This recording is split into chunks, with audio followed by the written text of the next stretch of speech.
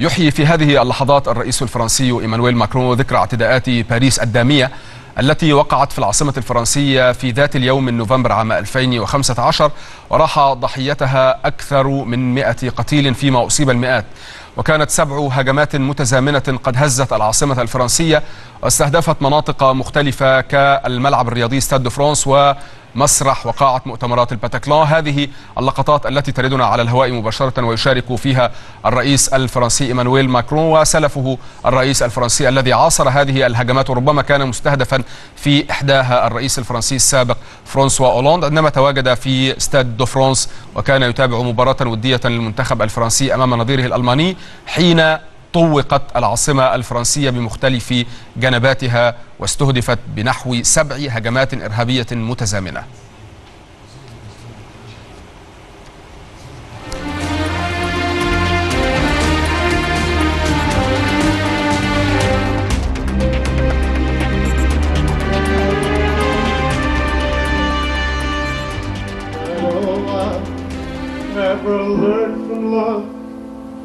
Was how to shoot somebody who are to you.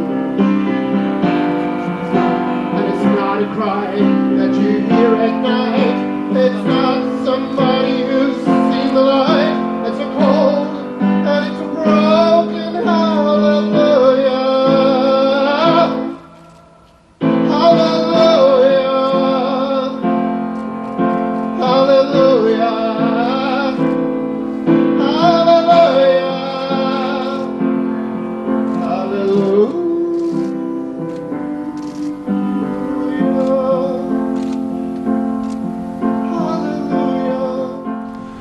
للمزيد تنضم إلينا عبر الهاتف من فرنسا الدكتورة جيهان جادو عضو مجلس محلي بإقليم فرساي. دكتورة جيهان أهلا وسهلا بحضرتك. كانا عامين داميين ذلك الذي عايشتهما فرنسا سواء كان ذلك بهجمات باريس أو بشارلي إبدو وبعد ذلك هجمات نيس الدامية. ما العبر والدروس التي استخلصتها فرنسا من كل هذه الهجمات؟ أهلا بحضرتك يا فندم طبعا وبالساده المشاهدين. الحقيقة يعني منذ عام 2015 الحقيقة لم آه لم يعني تقف أو ترتقف هذه الهجمات الإرهابية على فرنسا.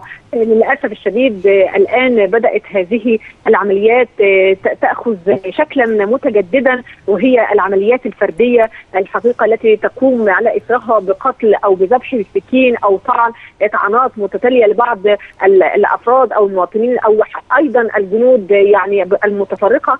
فطبعا بكل تأكيد هذين العامين الذين الماضيين نعم. الذي عاشت فيهم فرنسا يعني مأساة كبرى لفقد كثير من الضحايا خاصة بعد تلك الهجمات الإرهابية الحقيقة فرنسا عززت من دور يعني الإجراءات الأمنية المشددة التي إلى الآن وهي وسط تخوف شديد من حدوث أيضا بعض الهجمات التي قد تقوم في المستقبل بكل تأكيد فرنسا كشفت كل ميزانيتها وميزانية فرنسا حاليا يعني تنفق على الإجراءات الأمنية وعلى المراقبات وعلى أيضا الأجهزة الاستخباراتية التي يعني كشفت الحقيقة الكثير والكثير من العمليات المداهمة لتلك العمليات الثريه يعني يمكن فرنسا بالفترة الماضية أحبطت أكثر من 30 عملية إرهابية للأسف كانت سوف تتم على الأراضي الفرنسية هنا.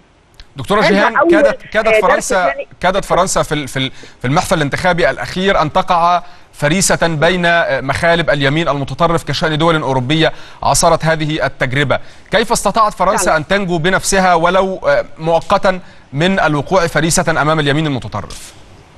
بكل تأكيد طبعا لأن اليمين المتطرف يعني يدعي دائما إلى هذا العنصر أو استبعاد كل المتورطين وكل أيضا للأسف يأخذون العاطل مع الباطل. لكن فرنسا الحقيقة في يعني في ظل إيمانويل ماكرون يعني الذي استطاع شيئا يستطيع شيئا فشيئا لم نقول له أنه نجح 100% لكنه يعني يتغلب بعض الشيء على هذه الأفكار خاصة لأن اليمين المتطرف قد يكون يأتي بنتيجة عكسية لطرد بعض المهاجرين وطرد الأخرى. لكن إيمانويل ماكرون يحاول بقدر المستطاع أن يحاول من إيجاد حلول وسط تنجو منه فرنسا من كافة الهجمات وكافة أيضا التهديدات التي حتى ما زالت حتى تعيشها فرنسا إلى الآن ثم أيضا أن القانون الارهابي الجديد الذي سنته فرنسا مؤخرا يعني الحقيقة قد يكون أدى بعض المسكنات إلى اليمين المتطرف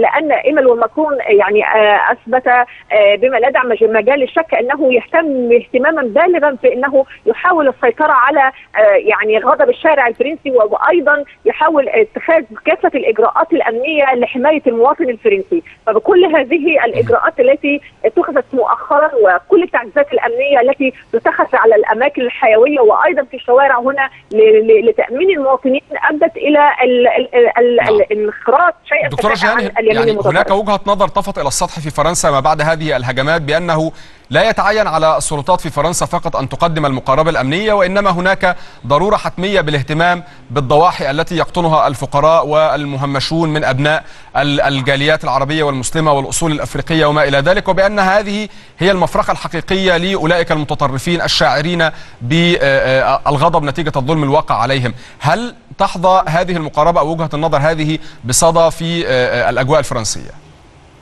يعني إلى إلى حد ما يعني حقيقة هذه السياسة إلى حد ما طبعا بعيدا عن اليمين المتطرف الذي يناهض عكس ذلك تماما لكن إلى حد ما تلاقي رواقا بين الشعب لأن الحقيقة أنا أنا في وجهة نظري متواضعة أن لغة الحوار ولغة النزول إلى الشارع ولغة أيضا الحوار واحتضان بعض الأفكار أو الشباب الذين لديهم أفكار متطرفة أعتقد أنه يأتي بنتائج يعني قد تكون مرضية إلى حد ما. على العكس تماما من الطرد وعلى عكس تماما ان يعامل الجميع في شكل متورطين وشكل إرهابيين وشكل مجرمين. فهذا يعني الحقيقة يؤدي إلى يعني خطر يعني قادم في المستقبل. فإيمانويل ماكرون ينتهج سياسة الانفتاح على معظم العالم حاليا ويحاول أن يعزز من قوته ويحاول أن يعزز من فكرته التي دائما ترعى يعني انتباه أو بعض الفقراء أو بعض الضواحي التي نعم.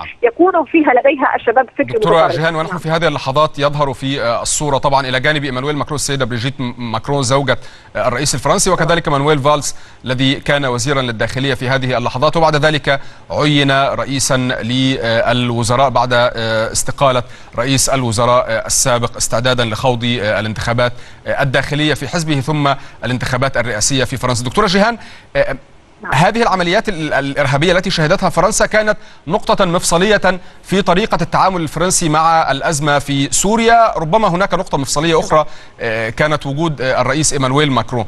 كيف تؤثر هذه العمليات على نظرة الشارع الفرنسي لطريقة التعاطي الفرنسية مع أزمات الشرق الأوسط وعلى رأسها الأزمة في سوريا؟ بكل تأكيد يعني الشارع الفرنسي ما يهمه بالدرجة الأولى هو تحقيق الأمن والأمان الذي كان يعيش فيه مقابل سواء إذا كان هذا يروق له أو لم يروق له سياسات ماكرون لكن هو في بالدرجة الأولى يسعى دائما وراء القيادات حتى يتمكنوا من وضع استراتيجية أمنية يعني تؤدي في الغالب إلى ضمان حياتهم وضمان يعني مستقبلهم الأمني خاصة. هم يعني فرنسا كانت يعني مسبقا كانت تعيش في منتهى ال ال في هناك أمان. يعني إلى الآن لكن بعد هذه الضربات وسياسات الشرق وسياسات فرنسا في الشرق الأوسط تدخلها في بعض الدول التي لها الحقيقة لها بعض المشكلات السياسية أو بعض التي يوجد بها بعض العناصر المتطرفة كانت سببا رئيسيا في هذه الأزمة التي حدثت بها في فرنسا، لكن حاليا أصبح ايمانويل ماكرون ينتهك سياسة يعني يعني الخروج السلمي من كل الأزمات، فهو أعتقد أنه تدخله يعني بشكل أصبح محايد إلى حد ما في في الشأن السوري أو خلافه أو في العراق أو يعني يحاول أن يكون على الحياد حتى يحاول تقليل المخاطر التي تعود عليه في المستقبل عليه وعلى بلاده طبعا وعلى الشارع الفرنسي بكل تأكيد، فبكل تأكيد الشارع الفرنسي يعني إلى حد ما لديه ثقة في القيادة فيسعى دائما إلى أن يكون هناك تحقيق أمني أكثر أكثر من ما سبق. نعم. دكتورة جيهان كيف انعكست هذه الأعمال وهذه الهجمات التي شهدتها فرنسا على نظرة المجتمع الفرنسي نظرة المواطنين الفرنسيين والسلطات الفرنسية على أبناء الجاليات العربية والمسلمة في باريس وفي فرنسا بشكل عام؟ طبعا بكل تأكيد هناك يعني الإجراءات أصبحت مشددة للغاية للأسف الشديد. طبعا لأن للأسف الشديد هم أعداء الإسلام الذين يرتكبون الجرائم باسم الإسلام دائما ما يلصقون التهم بالإسلام وطبعا الإسلام بريء براء منهم طبعا بكل تأكيد. فطبعا الجاليات العربية أصبح عليها علامات دائما علامات استفهام. أصبح أن هناك في هناك غلق للمساجد أصبح أن هناك تقييد في إقامة الشعائر أو الصلاة أو ما خلافه إلا بالحصول على إذن. طبعا إذا كان هناك في بعض الجاليات العربية تقيم شعائر صلاة الجمعة في الشارع. الآن أصبح هذا ممنوعا طبعا بكل تأكيد. أيضا سيؤدي إلى للأسف شديد إجراءات مشددة. أيضا بعد صدور قانون الإرهاب اللي هو سوف يعمل به في هذا الشهر الجاري. بكل تأكيد هيؤثر على الإقامات الغير شرعية هنا وسوف تقوم فرنسا بترحيل بعض ال ال يعني أبناء الجاليات الذين لا يستطيعون أن يكون لهم إقامة شرعية في البلاد. نعم. طبعا بكل تاكيد لكن دعنا نقول أن يعني الحقيقة كل مجرم هو الذي نعم. يخشى دائما من من القانون. نعم. لكن المواطنين العاديين لا أعتقد لا ليس لهم أي شكرا جزيلا لك دكتورة جيهان جادو عضو مجلس محلي بإقليم فرساي منضمة إلينا عبر الهاتف للحديث عن الذكرى السنوية الثانية لهجمات باريس الدامية التي كانت في مثل هذا اليوم عام 2015 وتابعنا كذلك وجود الرئيس الفرنسي السابق فرانسوا أولاند الذي كان حاضرا في إحدى هذه الهجمات ومستهدفا بطبيعة الحال وكذلك رئيس الوزراء الفرنسي السابق مانويل فالس. بهذا اذا